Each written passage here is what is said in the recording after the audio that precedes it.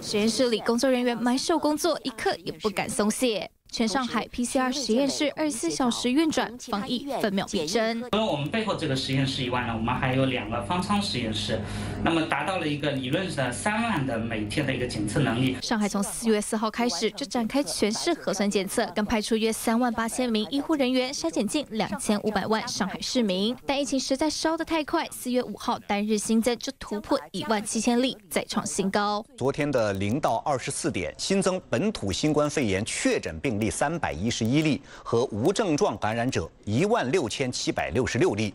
三月以来的这波疫情啊，上海已经累计报告阳性感染者超过了七点三万例。目前呢，上海疫情还在高位运行，形势极其严峻。连上海官员都坦言，目前当地疫情还在高位运行，形势极其严峻。因此，上海市决定将国家会展中心改建成方舱医院，今后有望提供超过四万个床位。上海正积极筹措救治床位和隔离房源。同时新建投用了一批方舱医院，床位总数已经达到四点七七万张，还有三万张床位即将投入使用。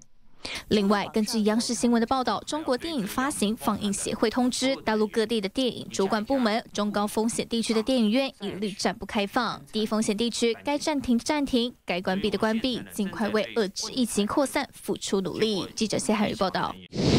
力会降低，然后我们说睡觉是美容觉，女生睡不好，这真的是不止脾气差，皮肤也会变差。旺旺现在推出了一个新产品，叫做梦梦水，独家的配方呢，可以启动入睡的关键。怎么买呢？来 Q R code 快点购，扫一下。